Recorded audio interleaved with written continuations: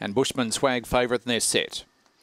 Ready, Racing, Bushman Swag came out quickly on the outside. Is going to find the uh, top, the favourite quite easily. Second, Yvonne's got socks up on the inside was Spooky Charm. In behind them next was Donate Now. Who's got Spice running wide there? Expect to spring with Diamond George. Last of all was Rusty Jackhammer down the back and Bushman Swag shot away. Out by three lengths, Yvonne's got socks, works into second. Then followed by Spooky Charm. Heading the rest was Donate Now and Who's got Spice on the corner. Bushman Swag still going strongly out by two. Yvonne's got socks running a cheeky race in second, but Bushman Swag wins by two on Yvonne's got socks. Three lengths away, third. Who's got Spy, Spooky Charm. Then followed by Donate Now, Expect a Spring. Well back was Rusty Jackhammer and Diamond George at the rear.